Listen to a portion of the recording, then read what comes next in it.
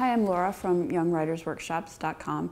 I'm going to talk about how to teach writing to 10th grade students.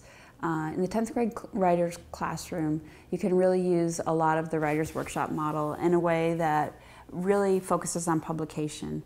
Um, this makes writing a lot more of a real world uh, proposition as opposed to just um, completing assignments. You can think about some ways that you really can include publication either um, by having students submit their work or um, compiling work for a blog or a, um, a, classroom publication that you will later create. So really keep the focus on making um, the writing uh, authentic so that they'll have a chance to publish.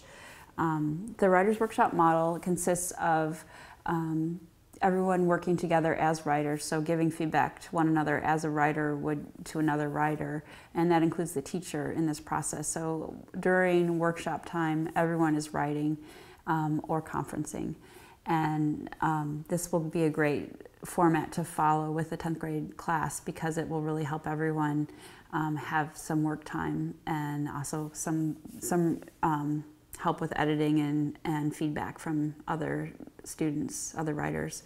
Um, so at the same time, um, there are some forms that are dictated by the state. Um, whatever your state is, you'll have some things that you do need to um, follow to prepare for standardized testing and try to incorporate these in with allow with the um, method of allowing students to choose their own topics because that'll make it feel a little bit more authentic, not um, spoon-fed, and um, will also give them a chance to practice for some of the standardized testing that they need to they need to do.